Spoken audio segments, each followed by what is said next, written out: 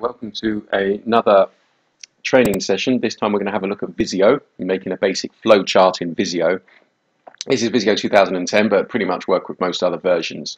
First thing I'm going to do is just uh, select the correct template. I'm using the professional version of uh, Visio here, but uh, you should all have flowchart as a template category. So if you go into flowchart by double clicking on it, and then we're going to go to basic flowchart, so double click on basic flowchart.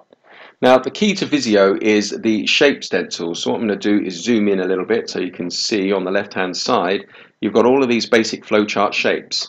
And to create a flowchart what I suggest you do is first have the connector tool selected at the top and then drag a shape out. So you notice here I drag in a terminator shape to start a process. You can use this shape to start or end a process.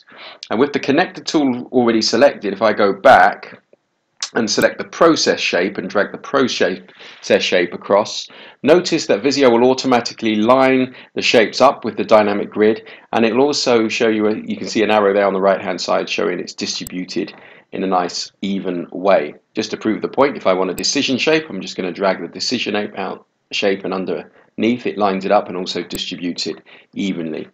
Let me zoom back so we can see the glory of the whole picture there and there we can see our Visio drawing taking, uh, taking place.